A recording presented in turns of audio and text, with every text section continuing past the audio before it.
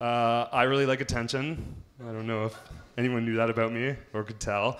Uh, and, and recently, I, I came across a particular brand of uh, attention that was quite intoxicating. I was the, uh, the best man at a gay wedding. Nothing quite like best man at a gay wedding attention. That's top shelf attention, okay?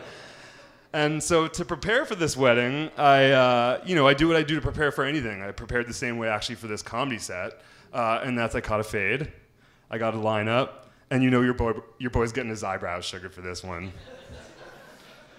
Usually though, when I get my eyebrows sugared, I say to my girl, I say, JL, sugar my eyebrows, but make it look like I don't sugar my eyebrows. Give me that blue collar kind of sugaring, right? The Rose City special the best groom guy on East Main Street. Okay?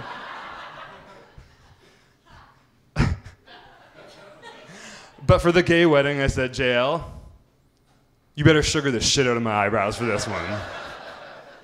I want you to sugar my eyebrows so hard I have a cavity. sugar my eyebrows so hard I have diabetes at the end of this one. And uh, yeah, I'm not gonna lie, it worked. I was, it was an attention orgy at this gay wedding. Okay, I was getting it from all angles, and uh, it felt pretty good.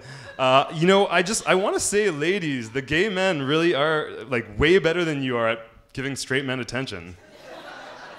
Honestly, it's it's very confusing when you guys give it to me. It's like you look away and right? And like they're just looking straight at me. They all give me the same look. I walked past five gay men in a line and they all gave me the ex- exact same look. They walked up and they were like it was just like a conveyor belt of attention. It was amazing. And uh, yeah i mean as the wedding went on i kind of leaned into it right? I was giving the look back to them right? And uh, you know, I had to go up and say my speech, and I was like, okay, this is where I can really drive up the uh, the attention here, right? So I I walked up to the microphone, and you know, I slowly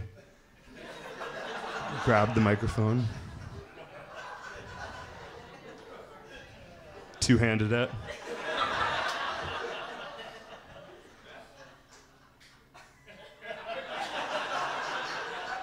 Hello, everyone. Mic check. Mic check. My name's Jon Reynolds, uh, first timer here as the best man at a gay wedding, a virgin, if you will. This microphone's not even that big, to be honest. I feel like anything could happen tonight.